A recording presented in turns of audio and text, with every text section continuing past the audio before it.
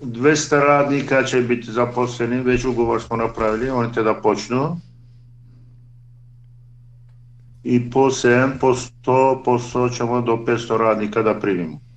U veliku planu nemamo puno radnika, mi prostora ovdje imamo, ali nemamo dovoljno radnika i zato smo morali da otvorimo jedno drugo mjesto i to smo odlučili u Pirot, zašto ima radna snaga.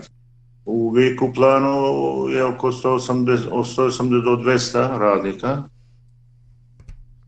E, u veliku planu samo će da se jakne šije, a u Pirot ima e, sportski program i jakne.